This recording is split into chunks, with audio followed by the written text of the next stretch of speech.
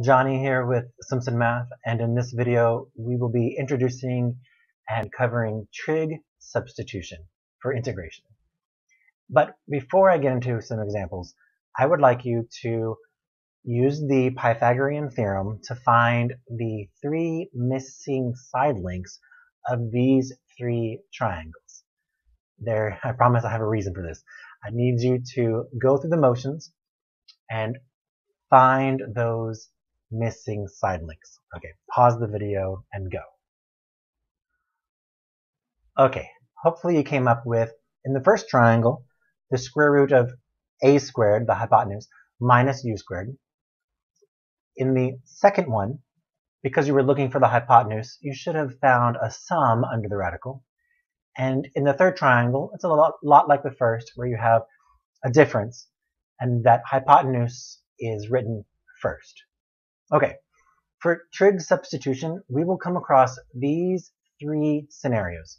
We will be looking for the square root symbol, and we will be looking for an a squared, where a represents a number.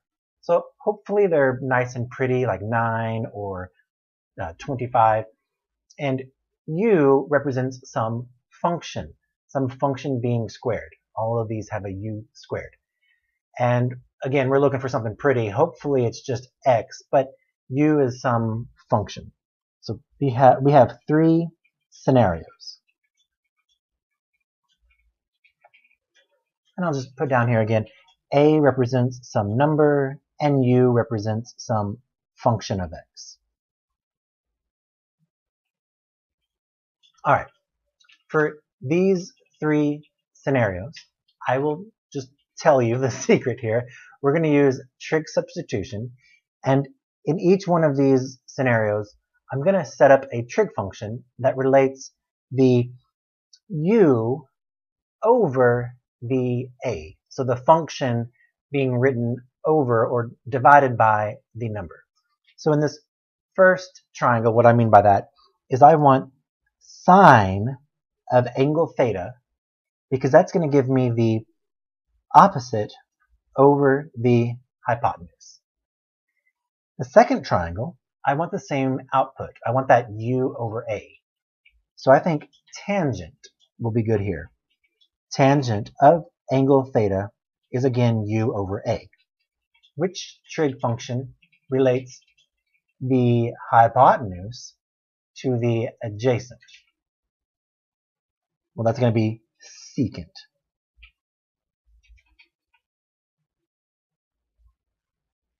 Dealing with these three scenarios, we are going to let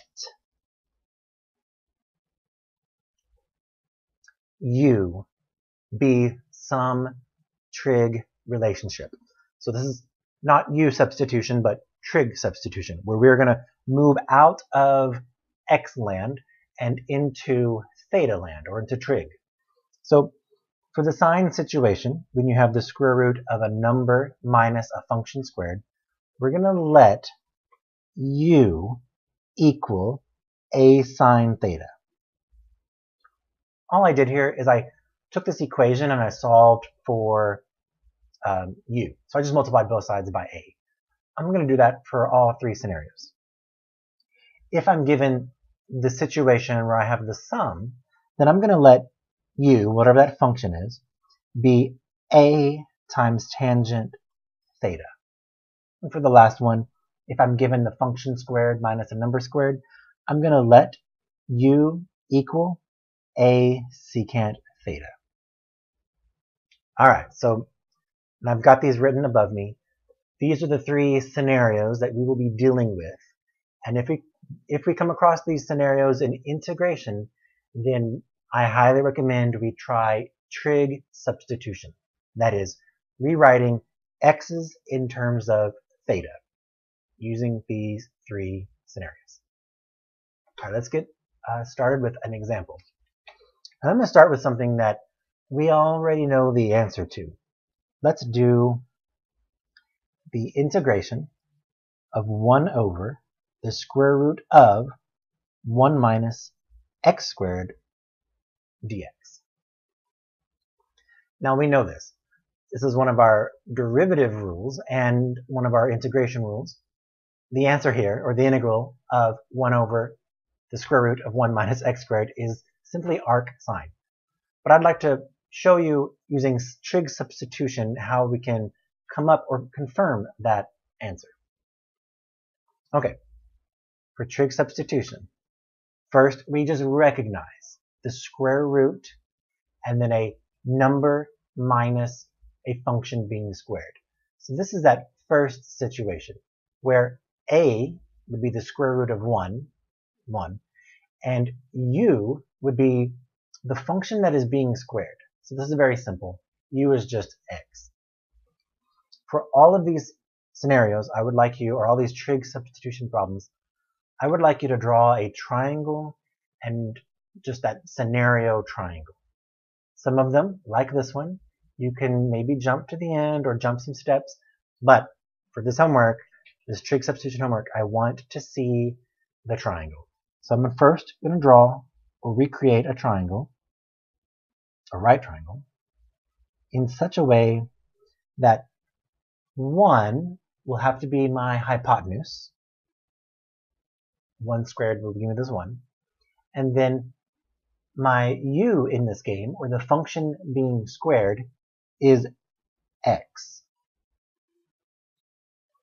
This triangle, if I were to solve for the missing side length, would be the square root of 1 minus x squared. And that's what I've got in my integrand. All right. This situation is the sine situation. So I'm going to let it says over here u equal a sine theta, but remember u is the function that is being squared. So the function that's being squared here is simply x. So I'm going to let, let me write this down maybe, u equals a sine theta, but we know what u is. u is x. And a in this game is the square root of 1, or this hypotenuse 1 nice and simple uh, example to begin with. So we're going to let x equal 1 sine theta. This is substitution. I'm going to need a dx if I'm going to do some substitution. So I can find the derivative of x. dx will be a cosine theta d theta. And I think I'm ready for trig substitution. That is, I'm going to rewrite my integration problem. But all of these x's and dx's are going to be rewritten in terms of theta, or these trig functions. So in the numerator position, I have a dx. Well, that just becomes cosine theta d theta.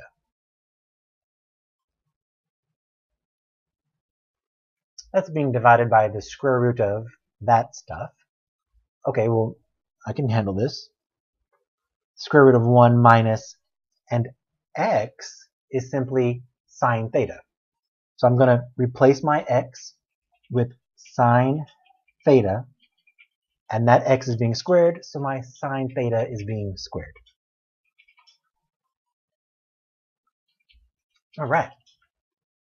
Now, this is convenient for us because maybe I couldn't handle the square root of a difference but notice in trig, if I have 1 minus a trig function squared, that's just sine squared theta, this is a Pythagorean identity. I know that 1 minus sine squared theta is equal to cosine squared theta. I'm going to make that substitution as well.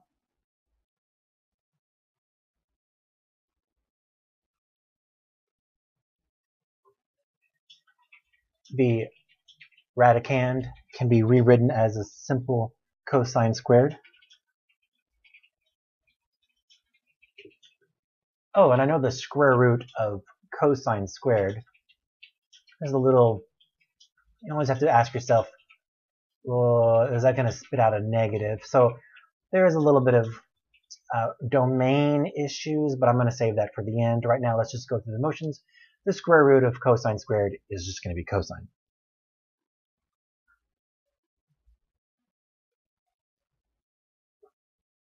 Oh, and cosine divided by itself, well, that's just going to be 1. So I'm integrating 1 d theta, and that's simply going to give me theta plus c. Okay, well, like in u substitution, where we change everything over into u's, integrate, and then have to turn back into x's, similarly here, I've changed over into theta land, and now I need to go back into x land. So what is theta? Well, uh, I have an equation that relates x and theta sitting there. I'll just recopy it down below. We said earlier, or we let x equal 1 sine theta. If you want to solve for the argument of a regular trig function, you're going to need, it, need to introduce arc trig or arc sine. So theta, what was the input is now the output, is equal to arc sine or inverse sine of x. So theta can be rewritten as arc sine of x.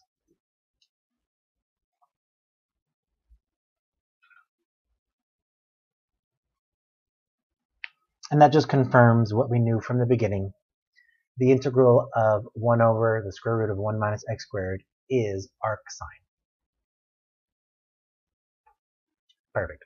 So this is the motions we will go through for these trig substitution problems. First, we recognize the situation that we are in. We have a square root, and under there we have the sum or difference of a function being squared and a number. If that's the case, we should be able to draw a triangle in such a way, and again, we're looking for that x over a, or that u function over a. So we just draw the triangle, the situation that we're in, scenario we're in, and then we're able to um, substitute in our trig. This Pythagorean is going to happen a lot, and then we come across some trig that we are able to integrate. And lastly, return back into Xland. All right, let's jump to a another scenario, maybe a bit harder uh, problem. Let's try.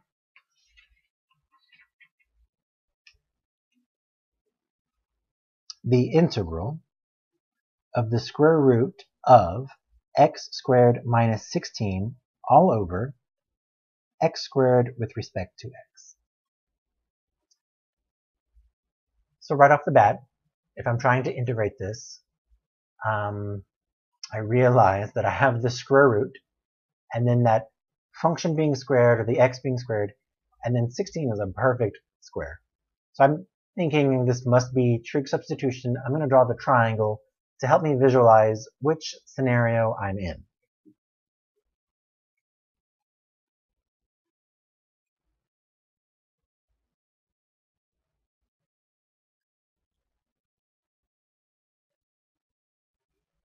All right, so I need the, oh yeah, this is going to be, the hypotenuse has got to be x. If I have that difference, that's just, that has to be it. That has to be the x.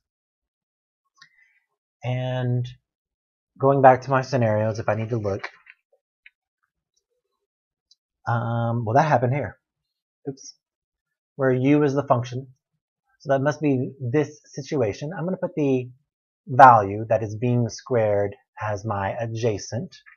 So I'm going to make 4 my adjacent.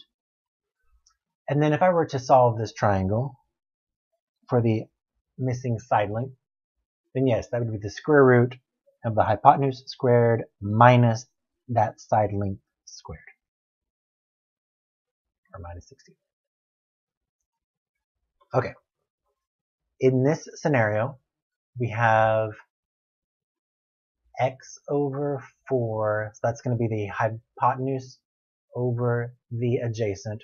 So that must be the secant situation. I'm going to let the function that's being squared, which is just x, I'm going to let x equal it's a secant theta. A in this game is the number that's being squared, or the square root of 16, so 4.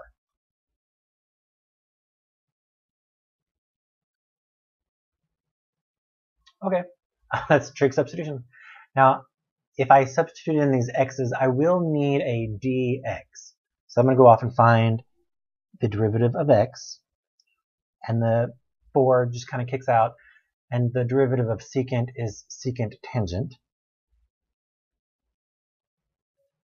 And we have a d theta with that.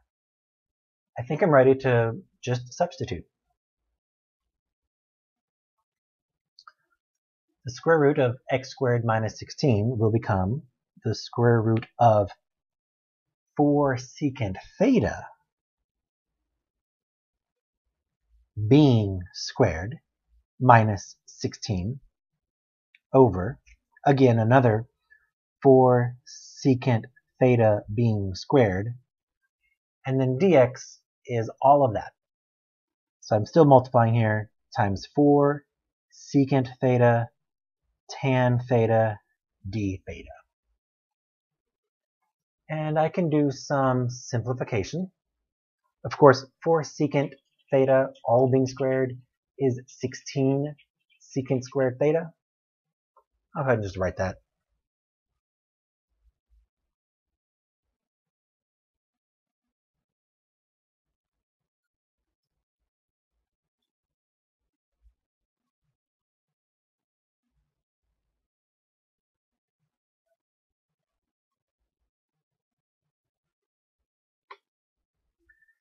And I'm going to do a lot of simplification in this next step. Uh, I see some reduction that can happen.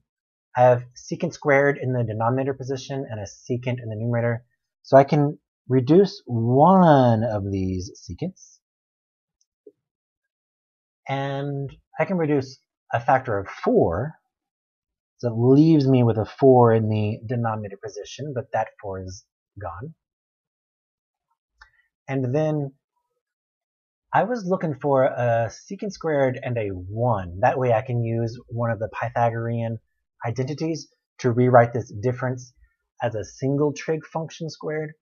So this 16 is in my way. I'm going to factor a 16 from the radicand, and then I'm going to split up the radical, like so.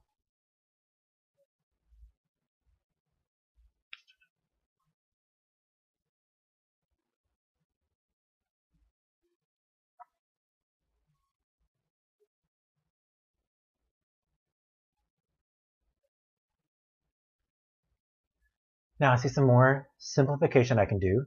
The square root of 16 is 4, so these 4's completely uh, just reduce each other. And then secant squared minus 1 is tangent squared using a Pythagorean identity.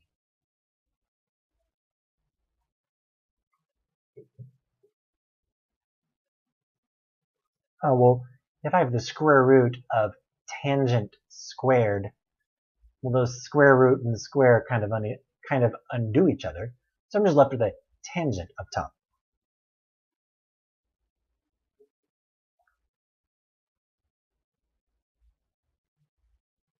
Oh, and then tangent times tangent, I've got tangent squared.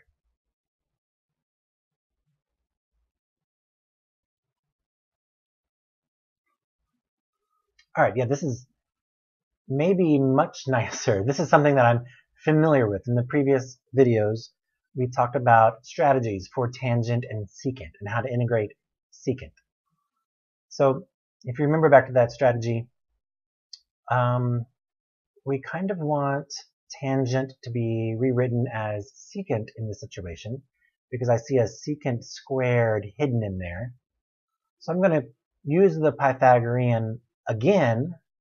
This time I'm not restricted by the radical symbol, so I'm going to bust this up into secant squared minus 1, and that's going to give me the ability to rewrite this as several integrals.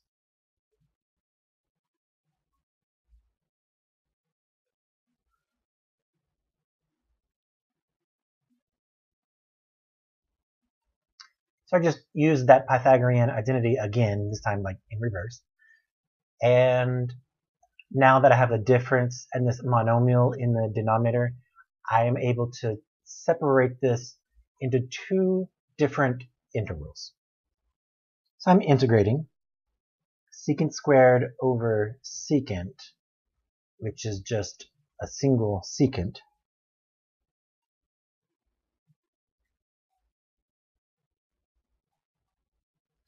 and then I have the integral of 1 over secant, and the 1 over secant is the reciprocal of secant, which I know is cosine.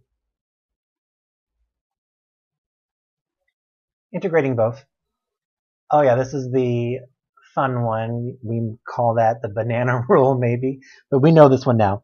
The integral of secant theta is equal to the natural log of secant theta plus tangent theta. And from that, I'm subtracting. And let's see, the derivative of sine is positive cosine, so the integral of cosine is sine. I have my plus c. And this is great. I just need to take these thetas and turn them back into x's. So how does theta relate, relate to x? Well, I have this triangle that I drew from before. So I'm going to go back to that. So these triangles not only help us set up the problem, identify the scenario, help us identify which trig function we need to be using in the trig substitution, but right here, I also need theta and this triangle to help me simplify or answer these. Because secant theta is asking, given this theta, what is the hypotenuse over the adjacent? This is simply x over 4.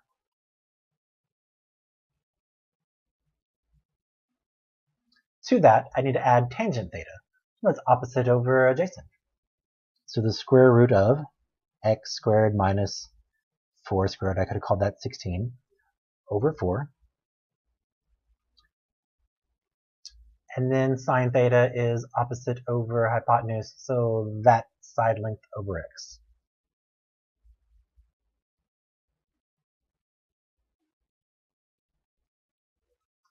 And these do have a common denominator, so maybe you want to spend one more step to just add those two fractions together, but I'm looking at a good final answer right there. So let me walk through that problem quickly one more time. I saw the integral, I saw the square root, I knew this had to be trig substitution. I drew a triangle with that square root in it. At the same time, I'm thinking to myself, I need a x over a, or that function over a. So I drew this scenario, and if you have a cheat sheet you need a reference, that's okay. And then according to the cheat sheet, I need to let x equal a secant theta. Made my substitution. That allowed me to use some Pythag, which gave me this integral dealing with just trig. And then I relied on my previous knowledge on how to handle this situation, busting up tangent into terms of secant, and then I was able to integrate those secant or those uh, trig functions. All right, let's see if I can amp up the difficulty level one more time. And I have one more example, or one more scenario to show you. So let's do that one together.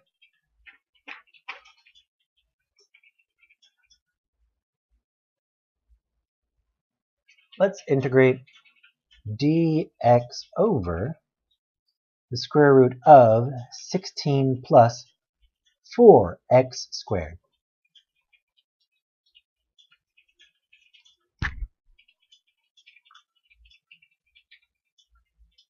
All right, I noticed the trig substitution scenario. I've got the square root of an a squared plus this function being squared. Now the only difference is my function here is not x. I'm going to draw my triangle.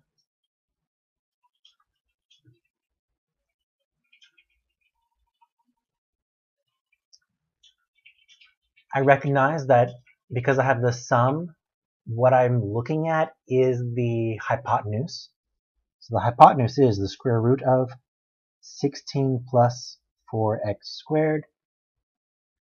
I'm wanting a trig function that relates the function over a. And we said sine is good, secant is good, and tangent is good. Uh, well, not sine, not secant. So this must be the tangent scenario. I'm going to put the function that is being squared as the opposite, and then my a as my adjacent. Okay, well, what what is this over here? What's being squared? It's not x. It's not 4x.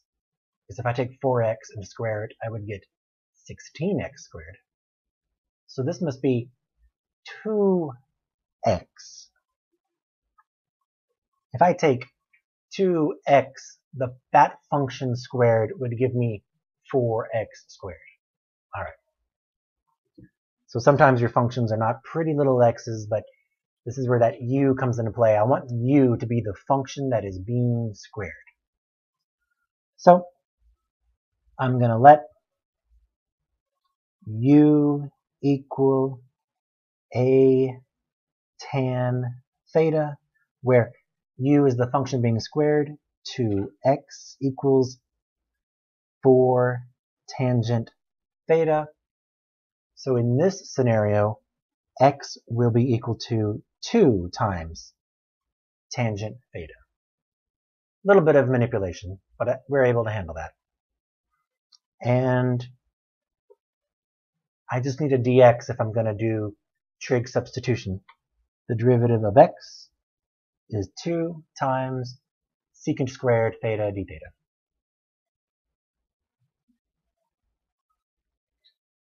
I'm ready for my trig substitution. That is, I'm replacing all of my x's with thetas. In the numerator, I have 2 secant squared theta d theta. In the denominator, I have the square root of 16 plus 4 times, and my x is 2 tangent theta. And that's being squared. So I can handle that. That is 4 tan squared. So that's 16 tan squared. Oh yeah, this is the same situation we had before where they both had a 16 and so we factored out the 16 and pulled out the radical of 16. I'm going to do the same thing. This time I have 16 plus 16 tan squared. I'm going to factor 16 and then rewrite that radical of 16 away from the other radical.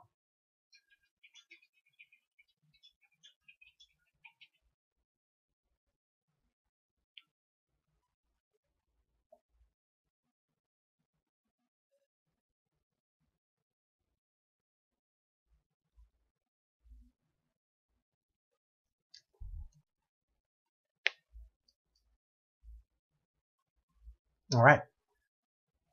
1 over the square root of 16, that's just a fourth. That's a constant. I'm going to pull, oh wait, there's a 2 there. So 2 fourths reduces to 1 fourth. So I'm going to take that 1 fourth.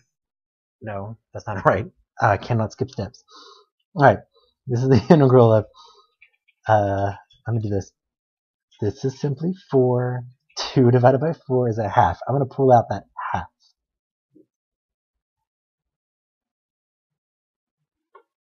Under the radical, I have 1 and tangent squared. Using Pythag, they will sum up to secant squared. Oh, but it's under the radical. So the square root of secant squared just becomes secant. And I have secant squared up top, so one of those secants will reduce.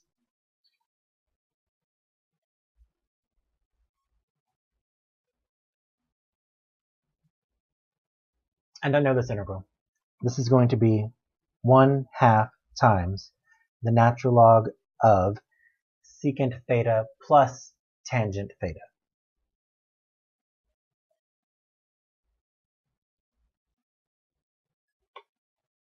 I'm done with integration, so I'll add the plus c constant. Oh yeah, and then these thetas are in uh, relationship with this triangle. So it's asking me for secant theta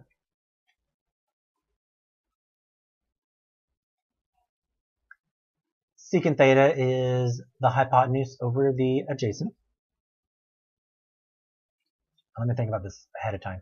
Tangent is opposite over adjacent. They have the same denominator, so I'm going to go ahead and add those two fractions.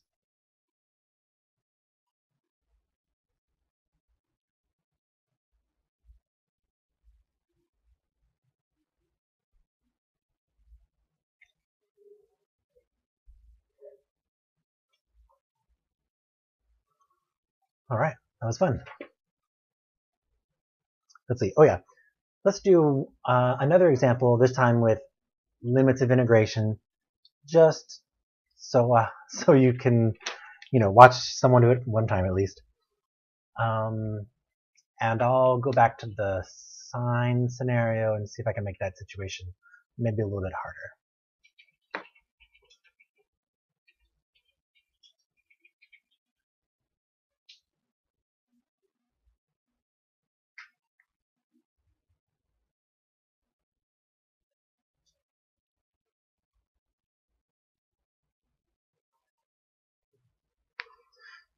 Okay, we have the integral from 0 to the square root of 2 of x squared over the square root of 4 minus x squared. Hopefully we acknowledge or we can see the triangle or the trig situation. I'm going to draw a triangle in such a way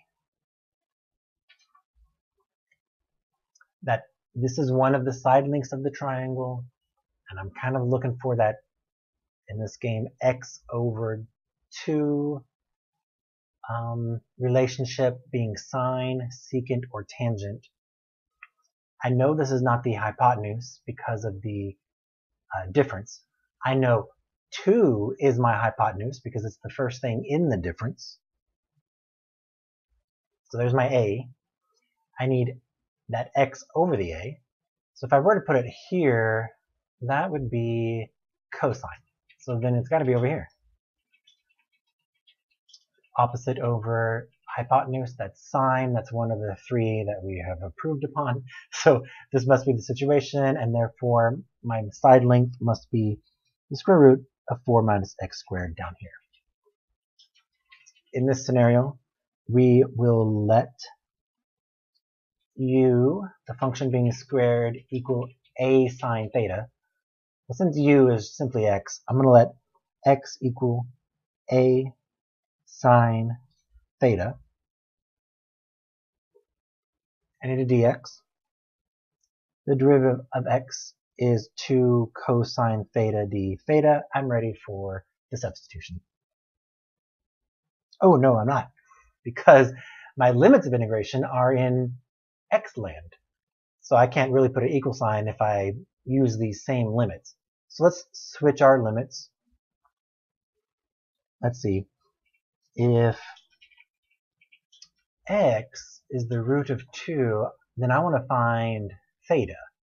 So let's take this relationship between x and theta, and let's solve that for theta.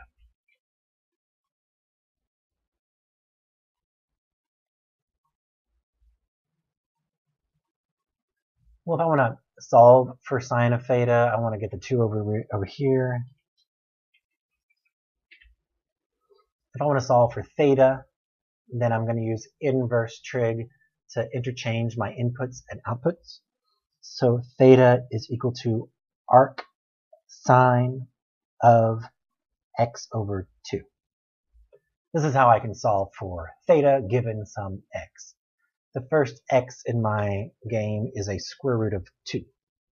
So when x is the square root of 2, theta will equal arc sine of root 2 over 2. Oh, that's a pretty um, value on the unit circle. That is pi fourths.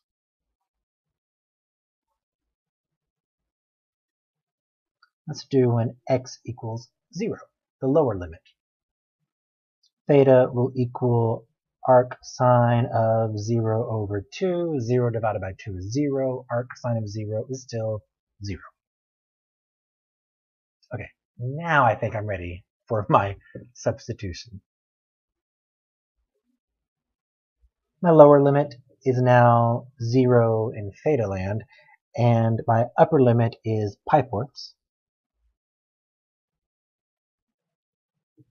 My numerator is x squared. Well, that's simply 2 sine all squared, so that's 4 sine squared theta.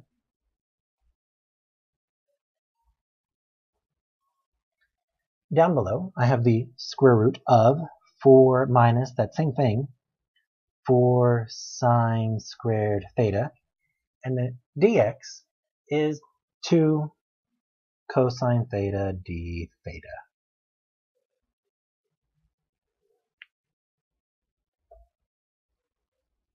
Oh yeah, same trick. The 4s are kind of in my way. I'm going to factor a 4 out and then split apart my radical. So I have the square root of 4 times the square root of 1 minus sine squared.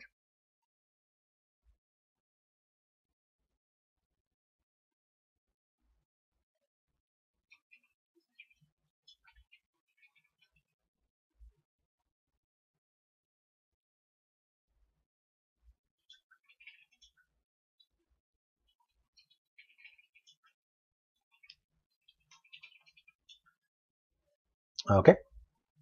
Well, the square root of 4 is 2, so the 2 in the numerator and denominator position can reduce each other. In the denominator, I'm going to have the square root of, using Pythag, cosine squared, which is simply cosine, and I have a cosine in the numerator, so these cosines will reduce. This is just a single cosine. It is reducing with this single cosine. I'll pull the 4 out of the integration process.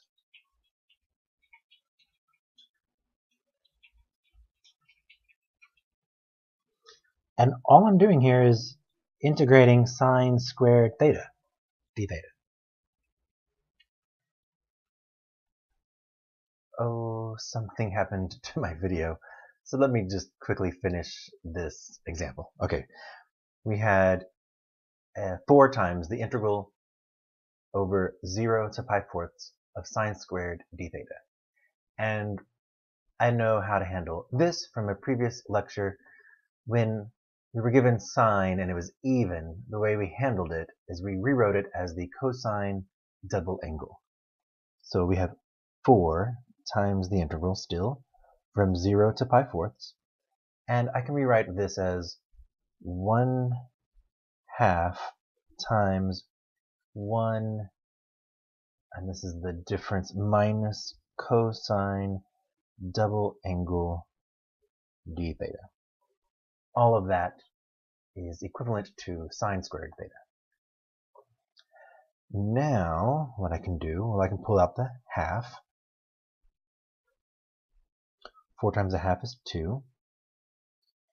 And it looks like I can then separate this out into two different integrals. So I'm going to go ahead and do that. I'm going to put a big old bracket because the 2 is outside of that process.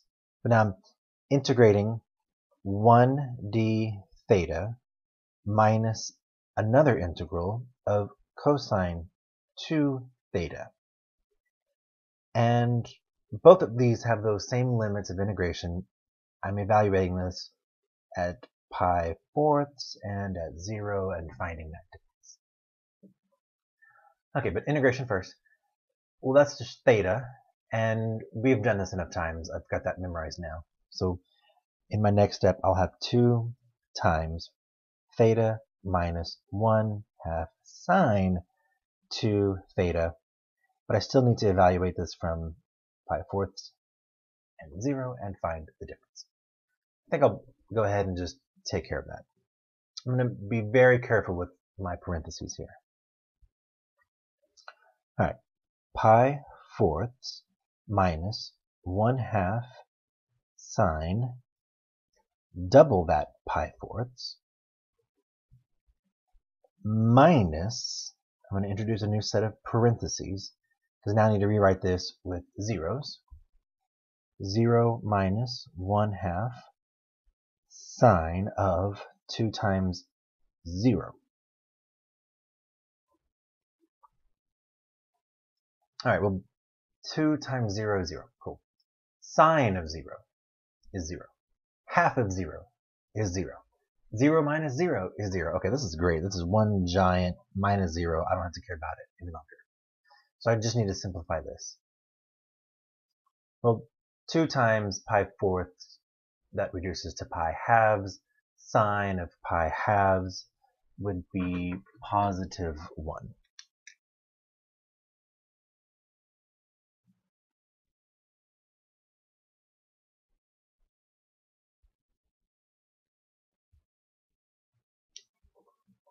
So that's just 1, 1 times a half, that's just a half. Okay.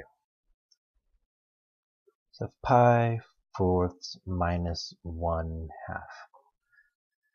Um, maybe leave it like that, maybe factor out a 1 fourth, maybe distribute the 2. We're really done. Let's see. Pi halves minus 1. That's a nice, pretty answer. I wanted to talk about domain but I think maybe I'll do that in a different video, having technical difficulties. Okay, go do your homework.